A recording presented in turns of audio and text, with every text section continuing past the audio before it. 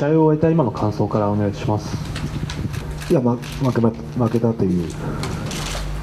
感想だけですね、はい、階級を落としてのあの初戦だったんですけども、コンディションはいかがでした？階級を落とす前と比べてあのコンディションというか動きを動きの方はどうですか？いや、特にその疲れたとかそういうことはなかなかったと思います、自分の中では。はい、宮田選手が強かったという、それだけです。改めてあの宮田選手の戦ってみて印象はどうでしたか？強かったです、はい、それだけです。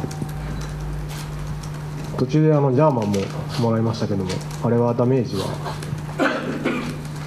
は特には、まあ、そこから展開を作ろうかと思いましたけど、やっぱりそういったクラッチとかもやっぱ強いというか、力があるなっていうのはすごく感じましたし。えーファイターライフです、えーとまあ、その階級を転向して、まあ、以前と、まあ、先ほどはそのコンディションの問題でしたけれども、何か階級を転向した上でその気持ちの変化だったり、何か変わった点はあったんでしょうか？いや、やってみては別に特には、はい、あの今まで通りとあまり変わりはなかったと自分の中では思いますけど、まだ。